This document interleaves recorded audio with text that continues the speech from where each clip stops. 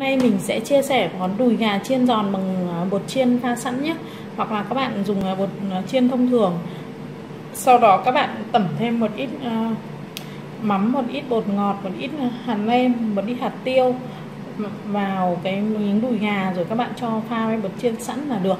Uh, và trộn thêm một ít bột tỏi, bột gừng hoặc là đập nhỏ tỏi gừng ra rồi các bạn trộn với gà nhé. Và bây giờ mình sẽ làm nhé à, trước tiên là các bạn khía gà cho mình. Các bạn khía dọc cái miếng gà ngang ra như này để cho gà chúng ta nó dễ ngấm gia vị vào hơn. Bột chiên này thì người ta đã pha sẵn gia vị rồi thì bây giờ mình muốn nó thơm hơn thì mình chỉ cần cho thêm một ít bột này à, ít ha, tỏi ít gừng vào có bột tỏi cho ít bột tỏi bột gừng. Còn không thì các bạn đập ít tỏi tươi ít gừng tươi vào. Các bạn pha cùng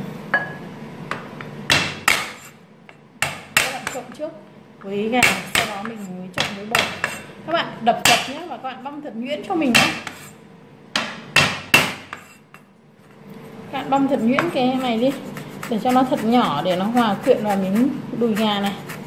Các bé rất là thích ăn những cái món này cho nên khi mà các bạn mà biết cách nấu ấy thì nhà chúng ta sẽ có những cái những cái cánh gà cái đùi gà chiên tại nhà ấy, nó cực kỳ đơn giản mà lại ngon ấy. Băm tập nhuyễn lên cho mình nhé.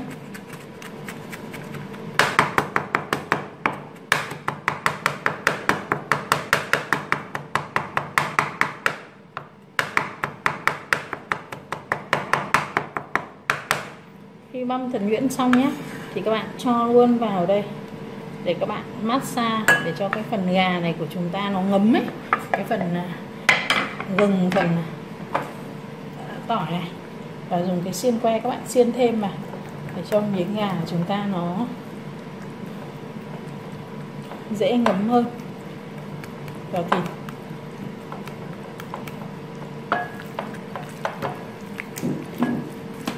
Massage khoảng 10 phút nhé, để cho cái phần gia vị này nó ngấm hết vào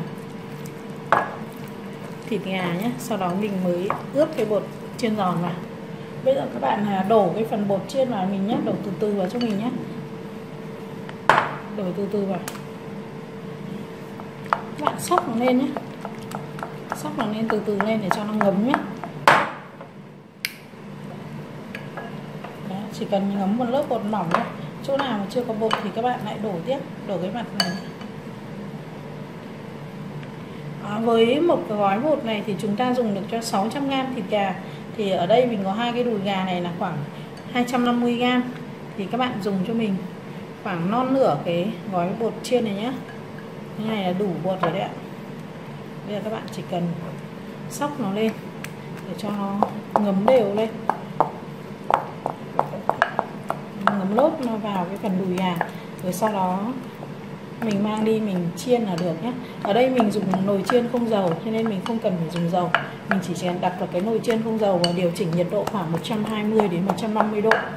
Và mình chiên lên khoảng, mỗi mặt này khoảng 10 phút là mình đã có món gà chiên rất là ngon rồi. Đấy, các bạn thấy không? Rất là đơn giản. Bây giờ mình đợi nhé. Đợi một chút cho nó ngấm rồi mình đi. Các bạn đợi khoảng 10 phút cho nó ngấm thêm ấy.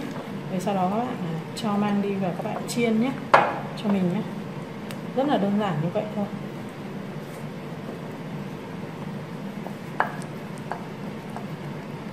Rồi. Bây giờ mình cho vào cái nồi chiên không dầu này nhé. Các bạn nướng mỗi mặt này khoảng 10 phút. Nếu mà chưa được thì mình lại nướng tiếp nướng lại nhé. Và cái lật mặt mình nướng tiếp nhé. Và nướng từ nhiệt độ từ 120 đến 150 độ nhé. À, mình à, khi mà nướng được à, khoảng 10 phút với nhiệt độ 150 độ rồi, thì mình vừa mới lật miếng thịt ấy, để cho cái mặt à, mặt này thì nó vàng rồi, còn mặt này thì nó chưa đủ cái độ vàng ấy. Và chín ấy, thì mình sẽ nướng tiếp 150 độ cái mặt này, thêm 10 phút nữa. Rồi, để cho cái mặt này nó giòn nhé. Đây là cái thành phẩm khi mà mình nướng xong ấy. Nó rất là ngon như này rồi một lớp là bột mỏng ở bên ngoài tạo ra cái vị, cái giòn cho miếng da. Thử cái da ở dưới nhá. Vị thì cực kỳ thơm ngon. Đây là mình xong cái cách chiên gà, đùi gà bằng nồi chiên không dầu đấy. Hẹn gặp lại các bạn ở những video tiếp theo của mình nhé xin chào và hẹn gặp lại.